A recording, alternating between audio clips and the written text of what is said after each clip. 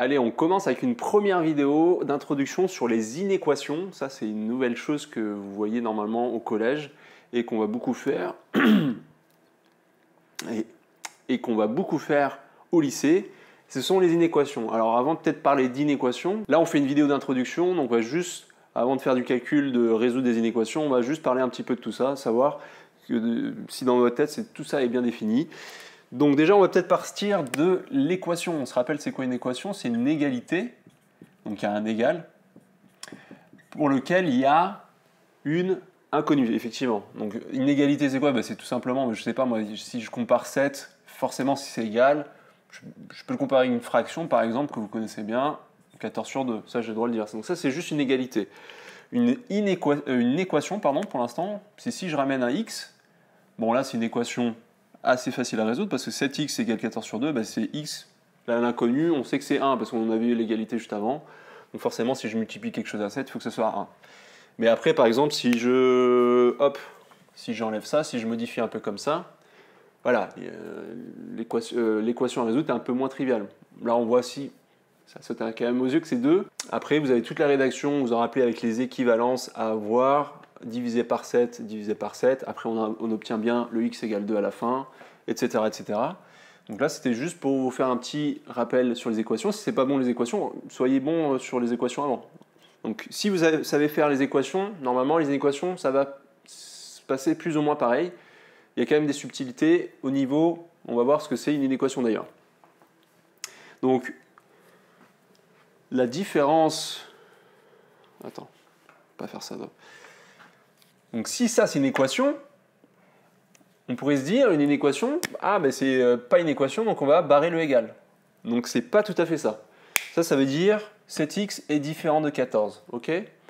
Donc les inéquations en maths, ce que vous allez voir en collège et lycée, ce, symbole-là on le voit très peu finalement, c'est juste des fois quand on va vouloir montrer des valeurs interdites de ce genre de choses, donc je vais pas trop en parler, mais c'est rare qu'on utilise ça.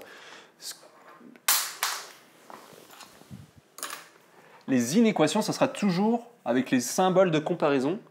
Donc les symboles de comparaison, il y en a quatre. Il y a strictement supérieur, il y a inférieur, il y a supérieur ou égal, et il y a inférieur ou égal. Donc ça, c'est vraiment les quatre symboles à vous rappeler. Donc fichez-le. Donc si je dis strictement supérieur, c'est si je parle de A par rapport à B.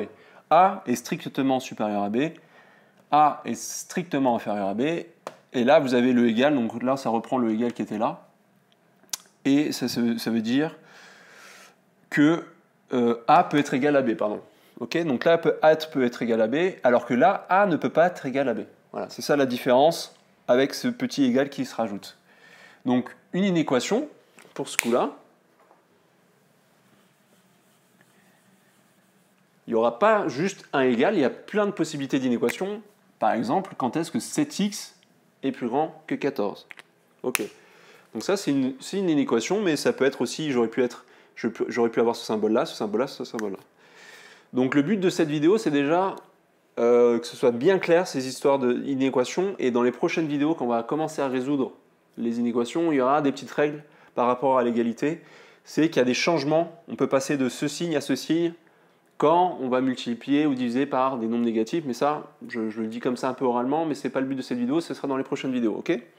Donc déjà, de l'exercice que vous avez sur le côté, c'est déjà de bien reconnaître ces symboles-là. Est-ce que c'est un strictement supérieur? Donc strictement, ça veut dire que je ne peux pas être égal. Hein, c'est encore une fois. Est-ce que je suis inférieur égal, euh, inférieur égal, pardon, supérieur égal, etc. Bon, là, je vous laisse le fichier, bien que ce soit clair dans votre tête. Alors juste pour finir, on pourrait se demander pourquoi on veut faire ça, pourquoi on ne cherche pas euh, tout simplement quand est-ce que c'est égal. Quand, euh, quand c'est égal, on veut savoir la valeur pour laquelle cet x vaut 14.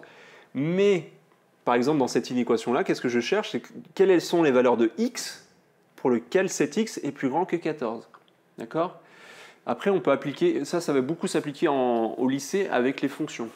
On va, avoir une fonction qui est euh, définie, euh, je ne sais pas moi, euh, le, bénéfice d'une société, ça peut être la taille d'une population qui grandit ou qui diminue. Donc on va chercher à savoir par exemple quand est-ce que la population va dépasser les 10 000 habitants ou à l'inverse, si elle diminue, quand est-ce qu'elle va être en, dessous de 5000 habitants voilà, donc il y a des milliards, de, des milliards, des milliards d'exemples. Donc les inéquations, c'est ce qu'on fait beaucoup, beaucoup au lycée. Donc là, c'est la, la, première année où vous allez en faire. Faites des exercices sur juste déjà reconnaître ces symboles. Après, sur les prochains, on va commencer à résoudre des petites inéquations. Allez, à bientôt.